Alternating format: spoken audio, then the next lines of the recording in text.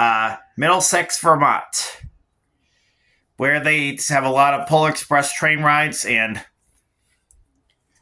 uh, where they can go on. We're going to be going to Polar Express train ride from Middlesex, just north of Montpelier, all the way to Alaska. That will lead us to the North Pole. That will be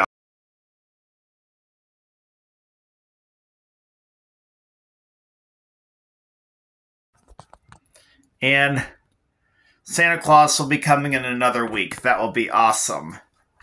That'll be powerfully awesome.